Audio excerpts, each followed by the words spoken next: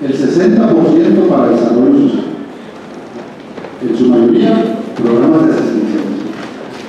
Que probado está que no combaten la delincuencia ni encaminan el talento de nuestros niños Lo que yo estoy proponiendo aquí es que exhortemos al Ejecutivo a través de esta iniciativa para que el presupuesto que ya nos presente lo reasigne de tal forma que le dé prioridad a estas actividades porque justamente urgentes. Y destaco la noticia que salió ayer aquí en Chihuahua. Se están atendiendo niños de 8 años porque ya tienen adicciones a drogas. De 8 años.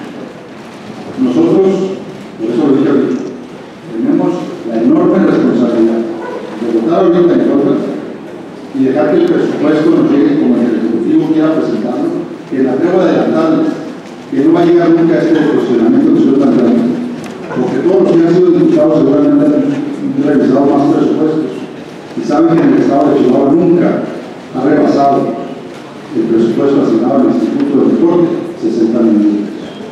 Y otro dato ridículo, el monto asignado en 2018 para la representación de nuestros niños y nuestros jóvenes que van a competir a cualquier olimpiada o competencia nacional es de 2 millones de pesos. 2.5 millones de pesos.